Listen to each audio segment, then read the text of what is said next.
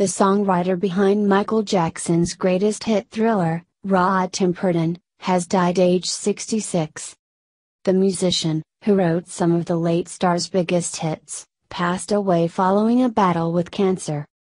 Jon Platt, chairman and CEO of Warner, Chappell, announced the sad news today, saying in a statement, Rod Temperton, British composer, and musician, died last week at the age of 66 in London following a brief aggressive battle with cancer.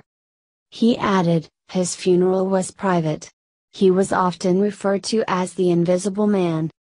He was the sole writer of multiple successful songs such as Thriller, Off the Wall, Rock With You, Give Me the Night, Sweet Freedom, Always and Forever and Boogie Nights to name just a few.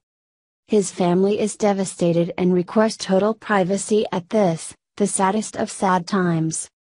Tim Temperton initially made his mark as the keyboardist and main songwriter for the R&B band Heatwave, before writing several internationally known songs performed by the late singer. Tributes are already pouring in, as one fan wrote on Twitter, Rest in peace Rod Tim Temperton. The thriller songwriter has passed away after a battle with cancer. Our thoughts go out to his family. And another added, sad news about Hash Rod Temperton, a truly great songwriter who created so much effortless pop and soul. R.I.P.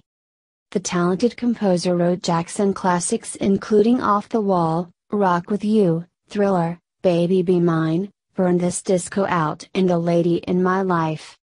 He has also penned songs for huge artists including Anita Baker, Aretha Franklin, the brothers Johnson, George Benson, and Quincy Jones. Jones.